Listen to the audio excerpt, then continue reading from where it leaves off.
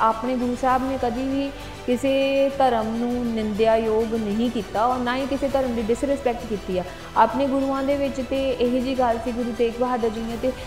ਪੰ, ਕਸ਼ਮੀਰੀ ਪੰਡਤਾਂ ਵਾਸਤੇ ਆਪਣੀ ਜਾਨ ਤੱਕ ਦੇ ਦਿੱਤੀ ਸੀ